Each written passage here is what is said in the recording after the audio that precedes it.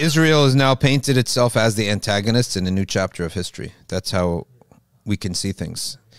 No matter what it succeeds to do in terms of taking land, taking all of Gaza, transform whatever it is, it is now the evil empire.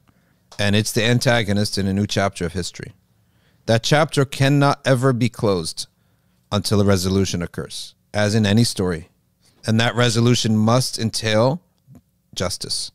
And it must entail the downfall of the antagonist. And it must entail the success and the the the triumph of the protagonist, the victims here, the Palestinian people. And if it's not going to be one generation, it'll be the next generation. It doesn't have to happen in one set of 10 years or 5 years. But no different than how the Nazis became the antagonists of that chapter of history. Going in and doing things, I think universally we can agree, had to be stopped. That chapter in history could not come to an end unless the Nazis suffered and collapsed and were brought to their knees and were finished. Nazism and Zionism essentially are a form of racism and and superiority, ethnic superiority. There's no what is the difference between the two? One group is telling us this is their land because of their racial superiority and because it is they are who they are and God gave them the land, etc. The other group was saying we're blonde hair and blue eyes are superior race. Do you see a difference? One group said, "Do you get causing all of our problems? Let's remove you from the from the country with a final solution." And these guys are saying no different, except they just haven't worded it as a final solution. Although that's what it is, and that's what they're doing. So, New York Times today saying why we should root for Israel to win and why we want Israel to win. You have already lost. You may gain land. You may succeed in advancing yourself as the evil empire. But make no mistake, the world is the audience, and the world has determined that you are the antagonist of this new chapter in history. A story cannot end without a resolution. The human being just doesn't live like this. You don't. You do an oppression, and it just just continues. The only way it continues is if you were to wipe away everybody altogether, the way the Australians, the Canadians, and the Americans did. But at that time, there wasn't a global audience. So you could actually get away with it. And by the time the world figured out what you're doing, there are no Native Americans left except for a handful. And you give them a day, you start putting them on coins, you start giving them statues, and you start honoring them before public speeches because it's all over now. They're not bothering you anymore. But this is not the case. This is not the case because by making, as Elon Musk, when he was saying before he went and got spanked by Netanyahu in Israel, and was was made to go to detention, which is a tour of Auschwitz with Ben Shapiro. He was talking common sense, and he was saying, "Let's just look at this logically. For every time you go after Hamas, for every one person you kill, you create two people who hate you. When the ratio is probably more like one to a thousand. Is the Palestinians are not one small group of people. All the Arabs are watching. Now the whole world is watching. The whole world is watching this.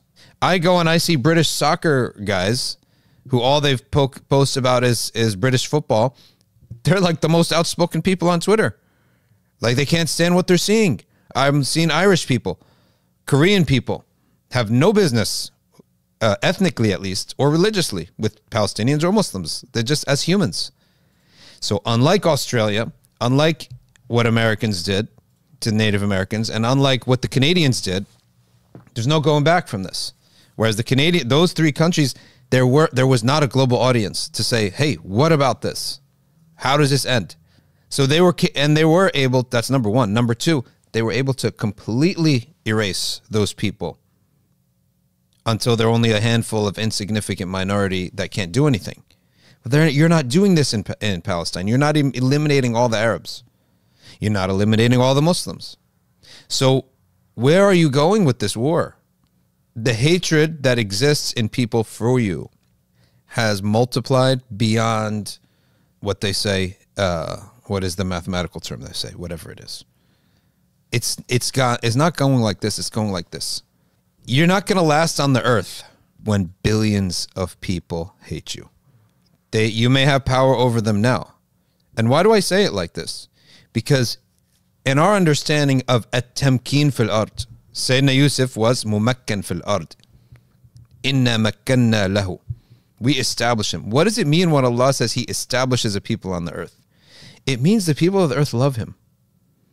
And whatever institutions they run, they establish them in that institution. They give them positions.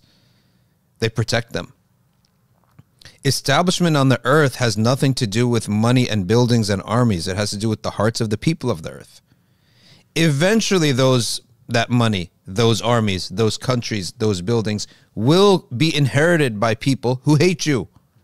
That's exactly the meaning of being established on the earth. So Elon Musk in that quote was probably the most sensible one, thing. He was saying, "Have you succeeded if all you're doing is creating more people who hate you?" I don't know where they're going with this. This is a it's it, no matter how much land they take and who they kill, they have lost because they're now the antagonists on the global stage. And the story cannot, hum, humanity, the hu, human beings, their hearts will not allow for this to end until we see the downfall of the antagonist. That's the nature of all stories. Somebody said uh, Arab leaders, they're, they're, they're inactive. They're not just inactive and passive, as I commented on them, they're complicit. So we have to ask the question what have we done as an ummah that Allah Ta'ala has elevated over us and given absolute control to do whatever they want with us? Such a vicious and merciless and nasty, cowardly enemy. Well, I'll tell you what, here's another way to look at it. If a Muslim dies having never repented from his sins, this person will be purified in the next life. In what? In hell. And Allah Ta'ala has established angels called Zabaniya that punish. So we even hold something far worse than the Israelis. The Zabaniya will uh, apply far worse punishment, except the Zabaniya themselves are not bad. They're angels. They're going to, but what they're doing to people who go to Jahannam, of the Muslims, of the believers, and the believers of all past nations included, the levels of heaven are seven. The top one is for people who are believers their core essence belief they they did the most important thing. They submitted to god and his prophet. After that though they lived terrible lives. So they can't enter paradise with that. They won't enjoy it if they did. Now they need to be purified. So they get put into this level of hell called jahannam. It's the least of all punishment and it's a worse punishment such that if a person was to stick a finger in it they would not remember any pleasure in this life.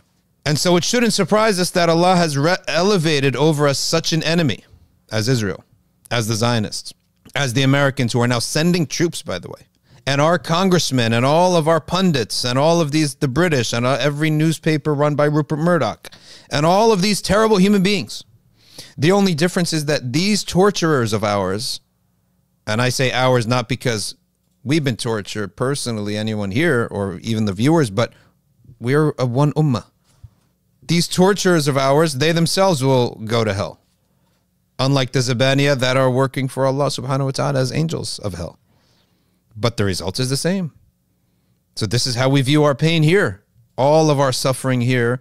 The Prophet sallallahu alaihi wasallam said, "My ummah is purification occurs in this life before the next."